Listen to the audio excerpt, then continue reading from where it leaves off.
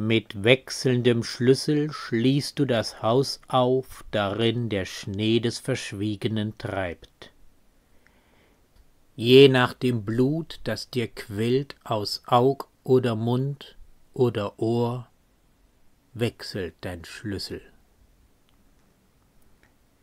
Wechselt dein Schlüssel, wechselt das Wort, das treiben darf mit den Flocken je nach dem Wind, der dich fortstößt, bald um das Wort sich der Schnee.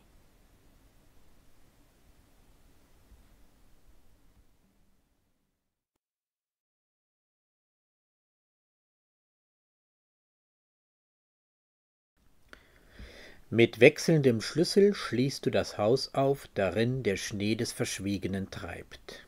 Hier spricht ein Dichter. Das Haus ist sein Inneres, altmodisch gesprochen seine Seele. Der Schnee, der darin treibt, ist Schnee des Verschwiegenen. Also das, was warum auch immer nicht ausgesprochen wird, hat sich zu etwas Kaltem, das im Inneren treibt, verwandelt.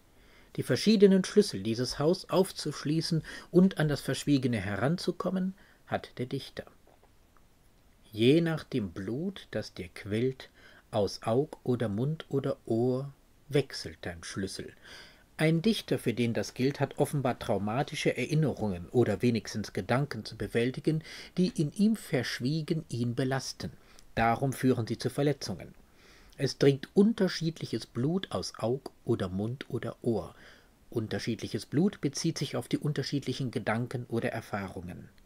Diese Erfahrungen sind durch die verschiedenen Tore, Sinne, mit der wir die Welt aufnehmen, Auge, Mund, Ohr, in den Dichter gedrungen und verursachen Blutungen, die durch dieselben Tore wieder austreten. Wechselt dein Schlüssel, wechselt das Wort, das treiben darf mit den Flocken. Je nachdem, welchen Zugang der Dichter in sein Inneres findet, fasst er die Erfahrungen in andere Worte. Je nach dem Wind, der dich fortstößt, bald um das Wort sich der Schnee.